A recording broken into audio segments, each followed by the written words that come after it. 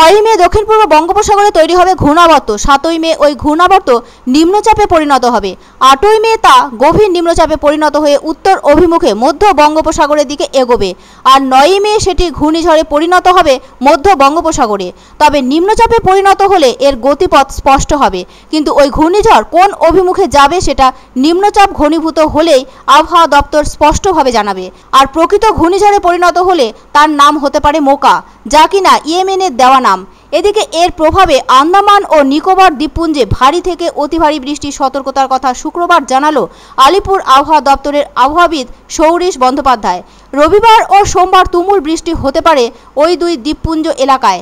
বৃষ্টির সঙ্গে দমকা ঝোড়ো হওয়া পঞ্চাশ কিলোমিটার প্রতি ঘন্টায় থাকবে আন্দামান ও নিকোবর দ্বীপপুঞ্জে।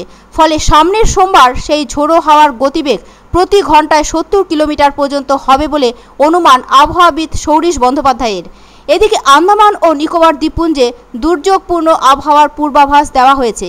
আর তাই সতর্কতা জারি করা হয়েছে পর্যটক ও মৎস্যজীবীদের জন্য। এই দ্বীপপুঞ্জ সংলগ্ন সমুদ্রে সোমবার থেকে পরের বৃহস্পতিবার পর্যন্ত মৎস্যজীবীদের সমুদ্রে যেতে নিষেধ করা হয়েছে।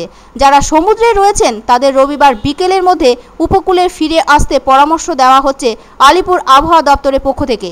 দক্ষিণ পূর্ব বঙ্গোপসাগর এবং মধ্য বঙ্গোপসাগর এলাকায় শনিবার থেকে বৃহস্পতিবার পর্যন্ত এই সমুদ্র এলাকাতেও মৎস্যজীবীদের প্রবেশ নিষেধ বলে জানিয়েছে মৌসম ভবন। সে কারণে প্রতি ঘন্টায় সত্তর কিলোমিটার গতিতে দমকা ঝোড়ো হাওয়া বইতে পারে। দেশের পরিষেবা সহ সমুদ্র তীরবর্তী বিনোদনমূলক পর্যটন সম্পর্কিত ক্রিয়াকলাপ বন্ধ রাখার পরামর্শ দেওয়া হয়েছে। আর হয়তো তারই প্রভাবে উত্তরবঙ্গের ওপরের দিকের পাঁচ জেলায় বিক্ষিপ্তভাবে বৃষ্টি চলবে। সেদিক থেকে দক্ষিণবঙ্গে বৃষ্টির পরিমাণ কমবে।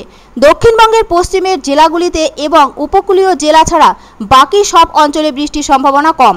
আবার শনিবার থেকে বুধবার পর্যন্ত দক্ষিণবঙ্গে কার্যত বৃষ্টির সম্ভাবনা কম দেখা দেবে। অন্যদিকে বাঁকুড়া, পুরুলিয়া, পশ্চিম বর্ধমান এবং বীরভূমের তাপমাত্রা চল্লিশ ডিগ্রি উঠতে পারে বলে অনুমান আবহাওয়াবিদদের।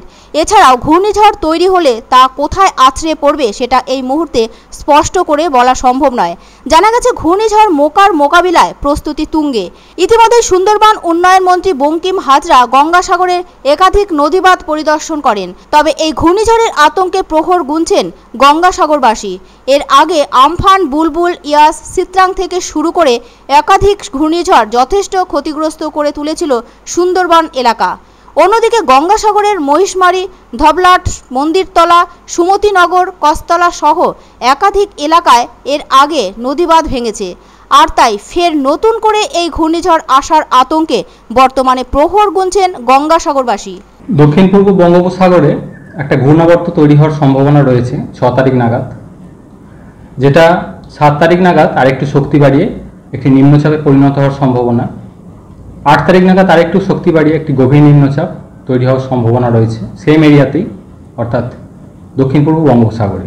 আট তারিখের পর আরও ইন্টেন্সিটি কিছুটা বাড়বে, একটি ঘূর্ণিঝড় তৈরি হওয়ার সম্ভাবনা রয়েছে পরবর্তী সময়ে, এবং মুভমেন্ট এক্সপেক্টেড ইনিশিয়ালি কিছুটা উত্তরের দিকে, মধ্য বঙ্গোপসাগরের দিকে। এর এক্স্যাক্ট মুভমেন্ট গতিপথ বা ইন্টেন্সিটি কীরকম হবে সেটা আপডেট নিম্নচাপ তৈরি হওয়ার পরেই জানানো হবে। তো এর ইমিডিয়েট ইফেক্ট বলতে যে ওয়ার্নিংগুলো দেওয়া হয়েছে মেনলি আন্দামান নিকোবর আইল্যান্ডের জন্য। এবং আন্দামান নিকোবরের মৎস্যজীবীদের জন্য সতর্কতা থাকছে মেনলি আট থেকে বারো তারিখ পর্যন্ত। আমাদের এলাকায় প্রভাব বলতে দক্ষিণবঙ্গে দশ তারিখ পর্যন্ত তো কোনো রকম প্রভাব নেই। পরবর্তী সময়ে আপডেট জানানো হবে ব্যাপারে আরও উত্তরবঙ্গের ক্ষেত্রে আগামী দু তিন দিন মেনলি পাহাড়ি এলাকায় দার্জিলিং, কালিম্পং, জলপাইগুড়ি, কোচবিহার, আলিপুরদুয়ার অর্থাৎ উত্তরের জেলাগুলোয় দু এক জায়গায় বৃষ্টিপাতের সম্ভাবনা থাকছে আগামী দু তিন দিন।